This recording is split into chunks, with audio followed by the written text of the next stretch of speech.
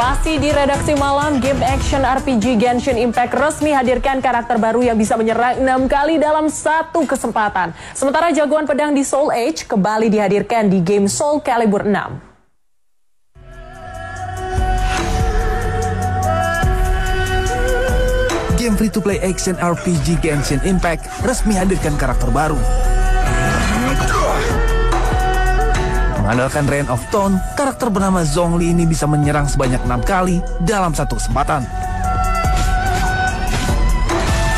Zhongli juga punya kemampuan elemental Dominus Lapidis, yaitu mengeluarkan batu yang bisa dipanjat sekaligus dipakai menyerang.